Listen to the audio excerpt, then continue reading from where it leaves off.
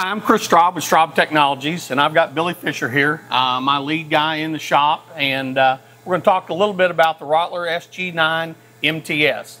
Um, Billy's with, been with me about four years now, and but uh, that's about a tenth of what Billy has spent in this industry and stuff. And he's got quite a bit of time behind seat and guide machines and stuff. And Billy, just a couple questions on the SG9.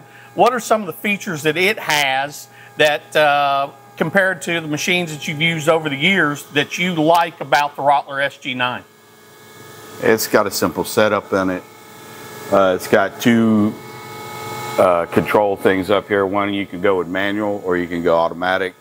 And the automatic one does is you set your height, your depth where you want the cutter to start. And then when it does that, it flashes the light so people can figure out they're getting close to the seat. And then when you get down to your finished depth, the light will flash again. So then you can look up here and see the screen and go to the stop or your zero spots up here.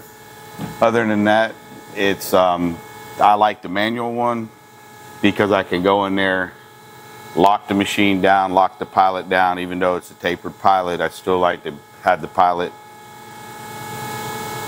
concentric with the guide so everything stays the same. The other way with the manual one, it kind of is a live pilot deal, which if its seat is heavy on one side to the other, it has a tendency to push this, the cutter one way to the other. So I like the manual one to where it locks it down and keeps it stable. So it makes the seat concentric to the And that's your preference on the machine, and that's great. I mean, it's it's it's cool that the SG9 gives you that flexibility as far as how you like to do things compared to like how somebody else might do things.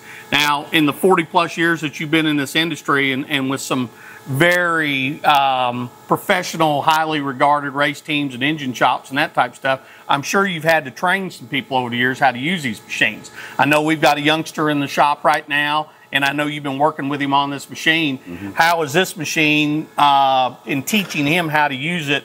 Uh, do you find it easier to teach somebody that's never used a seat and guide machine? Yeah, it's so much easier. You can, um, it won't take you but a couple hours for a guide to really get comfortable with the machine. Uh, the setup on it, like I said, is simple.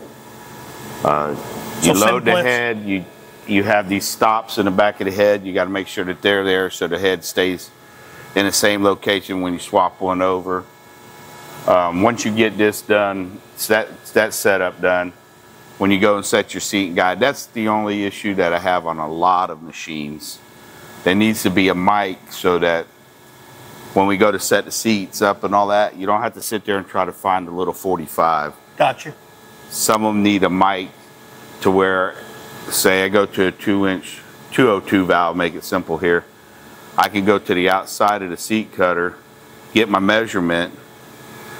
Once I find that, make sure it's where I want it, I can write that down on a sheet of paper. Okay. Then it takes the guesswork out of somebody trying to set up where the top cut of the 45 is. Okay.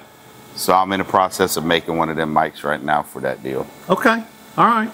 So it's just but other than that, it's a very simple machine.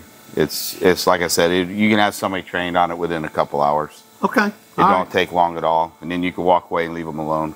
All right. Come back, check the work, make sure they've done it right. There you go. There you go. then if they don't, you know, well, you help them any way you can. You've heard it from 40 years experience of working on these machines. Mr. Fisher really likes the SG9 MTS by Rottler. Uh, if you got any questions, contact Rottler at rottlermanufacturing.com. Thank you.